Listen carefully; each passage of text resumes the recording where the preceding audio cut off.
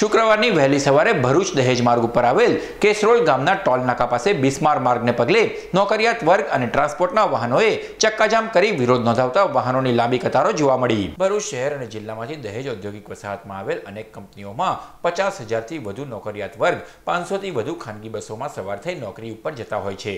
હાલ ચોમાસાની સિઝનને પગલે દહેજ ભરૂચ અને ભરૂચ દહેજ માર્ગ બદથી બદતર બનતા ટ્રાન્સપોર્ટના વાહન ચાલકો સાથે ખાનગી કંપનીના કર્મીઓ પણ હેરાન પરેશાન બની ગયા છે.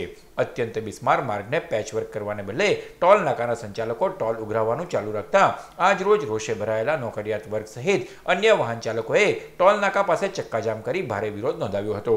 પોલીસ વિભાગ દોડતી થઈ ગઈ હતી. નોકરિયાત વર્ગ અને વાહન ચાલકોએ વારંવાર હાલાકીને પગલે પોતાનો રોષ ઠાલવ્યો હતો અને વહેલી તકે આ માર્ગનું પેચવર્ક કરવામાં આવે તેવી માંગ કરી છે.